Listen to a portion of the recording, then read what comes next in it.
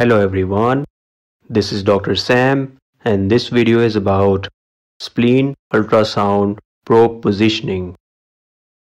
The image on the left side is a schematic diagram showing ultrasound probe positioning. These dotted lines are the right and left costal margins. This is the umbilicus this white box is the ultrasound probe and the red dot is the indicator or the orientation marker.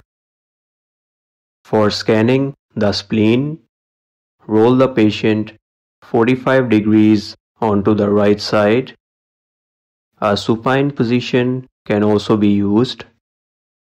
Then place the probe in the ninth intercostal space at the anterior axillary line. When you place the probe through the rib space, this image will be formed.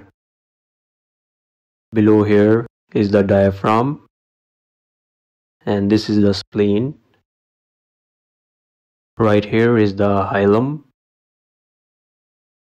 Move the probe anteriorly and posteriorly to thoroughly scan the spleen in longitudinal plane. Next, rotate the probe 90 degrees anti-clockwise to scan the spleen in transverse view and move the probe anteriorly and posteriorly to completely scan the spleen.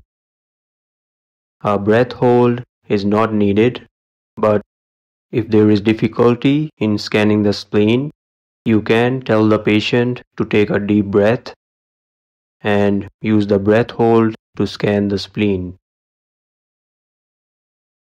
Thank you so much for watching. Please subscribe and stay tuned for more imaging videos.